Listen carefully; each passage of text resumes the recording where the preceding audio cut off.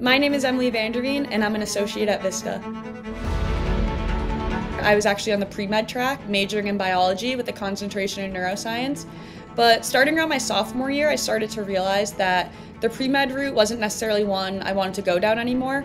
I learned about the Girls Who Invest program. So it was really my first exposure to the world of finance. I learned a bunch of core technical skills that I wasn't necessarily learning in my neuroscience classes. Through Girls Who Invest, I heard about Vista. I thought private equity seemed super interesting and thought it seemed like a very cool internship program and ended up applying. And ultimately, when I arrived at the internship, it ended up being the perfect place for someone with a non finance background like myself.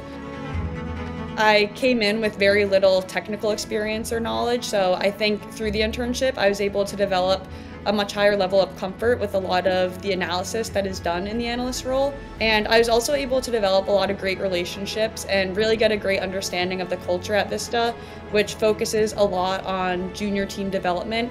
And so I think with all that experience, I was able to come into the full time analyst role really knowing what to expect.